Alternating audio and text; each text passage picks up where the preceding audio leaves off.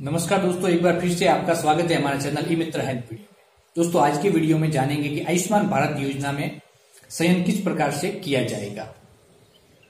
तो दोस्तों, सबसे पहले बात करते हैं, इस योजना का चयन का जो मूलभूत आधार माना गया सरकार ने, जिसको मूलभूत आधार मानते हुए लोगों का चयन किया जाना है, वो है 2011 में एक आर्थिक जनगणना हुई थी। उस समय क्या हुआ था कि सरकारी कर्मचारी घर घर पे जाके आंकड़े इकट्ठे किए उस आंकड़े के इकट्ठे करने के बाद पूरे भारतवर्ष में एक सर्वे हुआ था।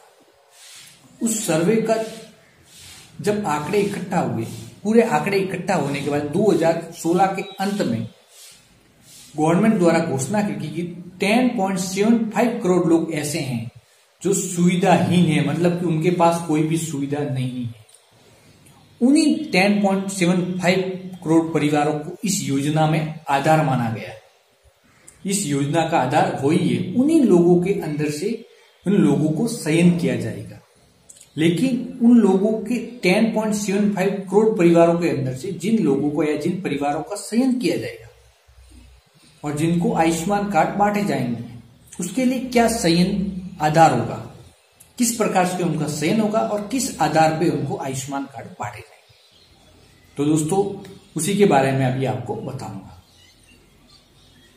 तो दोस्तों सबसे पहले बात की जाए तो इसके अंदर सबसे पहले जो चयन का आधार है, उसके अंदर पाँच कैटेगरी है।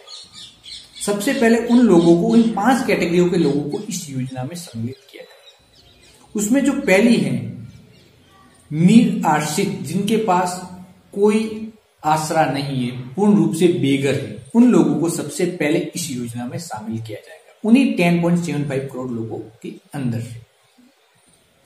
दूसरा भीख मांग के गुजारा करने वाले, हाथ से मेला ढोने वाले लोग, आदिवासी जनजातीय समूह जिसे आदिवासी कहते हैं, जो जंगलों में रहते हैं, उन लोगों को भी इस योजना में फ़ायदा मिलेगा। यानी, या फिर जो बंधुआ मजदूरी, जो कई सालों से किसी की बंधुआ, यानी कि एक बिना मजदूरी के काम करे तो उन लोगों को सरकार ने पहले, बहुत सालों पहले उन बंधुआ मजदूर से मुक्त कराया था तो उन लोगों को भी इस योजना में सम्मिलित किया जाएगा तो ये पाँच कैटेगरी महत्वपूर्ण इसके अलावा भी सरकार ने अलग अलग कैटेगरियाँ निर्धारित की शहरी क्षेत्र व ग्रामीण क्षेत्र के लिए अलग अलग प्रकार की कैटेगरियाँ हैं। तो क्या है वो कैटेगरी? वो अभी मैं आपको बताता अगर हम सबसे पहले ग्रामीण क्षेत्र से सुविधाहीन और वंचित श्रेणी के लोगों की अगर बात की जाए, ऐसे लोग जो सिर्फ़ एक ही कमरे का मकान है व दीवारें व सब कच्ची फ़र्स्ट, उनको चयन किया जाएगा। जिनके घर में 18 से 60 वर्ष के बीच का कमाने वाला कोई भी आदमी नहीं है। यानी कि वयस्क आदमी नहीं है। जितने भी सदस्य 18 साल से कम या उनसाठ साल से ज़्यादा है। वो भी इस योजना में सम्मिलित हैं। इसके अलावा महिला पे आश्रित परिवार जिसके घर के अंदर 18 से उनसाठ अगर महिला तो है अठारह से उनसाठ के बीच की, लेकिन कोई भी पुरुष अठारह से उनसाठ वर्ष के बीच का नहीं है, वो भी इस योजना में शामिल हो सकता है। इसके अतिरिक्त,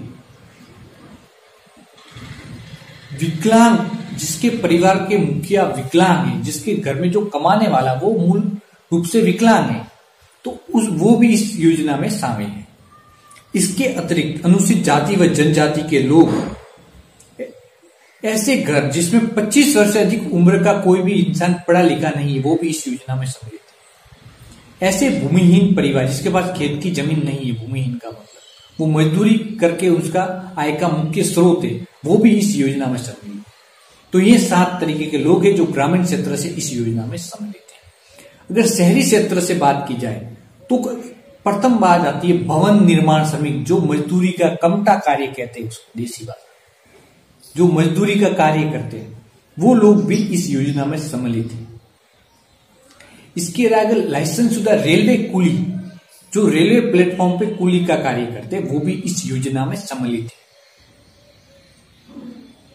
सड़क किनारे ठेला लगाने या फिर ऐसे ही नीचे बैठ के सु सामान बेचते, वो भी इस योजना के अंदर सम्मिलित हैं। इसके अतिरिक्त घरेलू नौकर, बीड़ी कारगर मनरेगा मतलब कि जो गाँव में मनरेगा का कार्य चलता है, वो लोग भी इसमें शामिल है।